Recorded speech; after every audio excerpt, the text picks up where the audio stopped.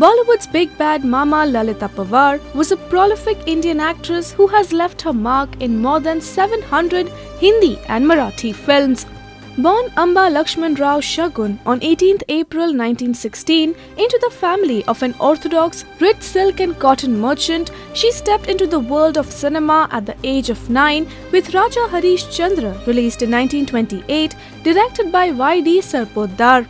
She worked in many films as a lead actress, and her most memorable roles remain to be in the films Netaji Palkar, released in 1939, Anari, released in 1959, Shri 420, released in 1955, and Mr. and Mrs. 55, released in 1955. We know her to be particularly famous for doing negative maternal roles, but that was after an unfortunate accident that made her give up the lead roles and switch to character roles that gave her unexpected fame in her later life.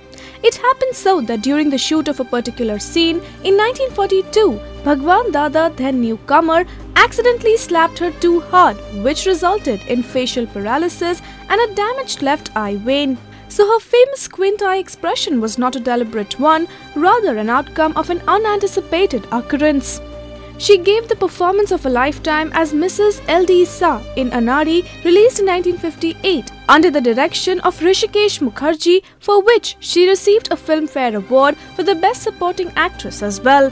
Her other famous roles are from the film Professor, released in 1962, where she played a strict matriarch who falls in love, and a larger than life role of Manthara in Ramanand Sagar's television adaptation of epic tale Ramayan. This famous wicked matriarch and mother in law of Bollywood entertained her audience for around seven decades.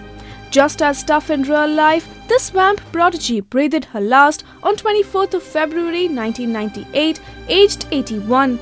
She was a hero's fantasy once, later turned into an evil scheming mother who made the lives of her heroines hell.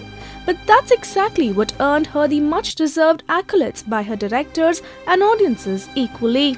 This is Yakuta Haji for Rajshri.com.